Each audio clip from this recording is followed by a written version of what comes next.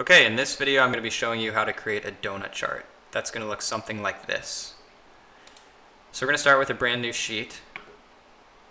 And I'm going to drag category to detail. I'm also going to drag profit to size and then change the mark type to pie. From there, I'm going to drag this calculation that I've created, which is just min of 1, to rows, and I'm going to do that twice because we need to create a dual axis. Then I'm going to right click on the lower axis and select dual axis. Alternatively, you can do it up here by selecting the drop down and going to dual axis.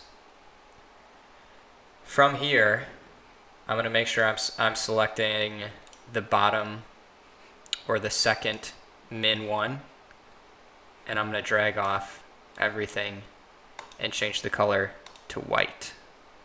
Then I'm going to go back up to the top, change the size to a little bit larger, and then I'm going to use control, drag, sum of profit to color. Then I can change this to entire view. I can hide the headers. And I have a donut chart.